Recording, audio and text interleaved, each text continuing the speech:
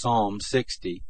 For the chief musician, to the tune of the Lily of the Covenant, a teaching poem by David when he fought with Aram Naharaim and with Aram Zobah, and Joab returned and killed twelve thousand of Edom in the valley of Salt. God, you have rejected us, you have broken us down, you have been angry, restore us again. You have made the land tremble, you have torn it. Mend its fractures, for it quakes. You have shown your people hard things. You have made us drink the wine that makes us stagger.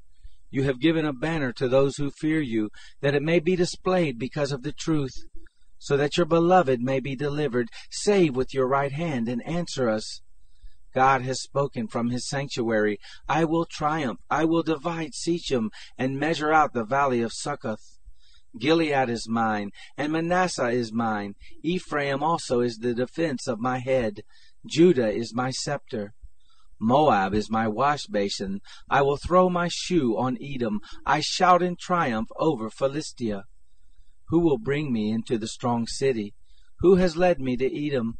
Haven't you, God, rejected us? You don't go out with our armies, God. Give us help against the adversary, for the help of man is vain.